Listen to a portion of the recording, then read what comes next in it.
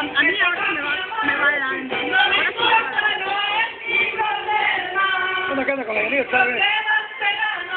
Pero déjala cantar a la Yanira con ella.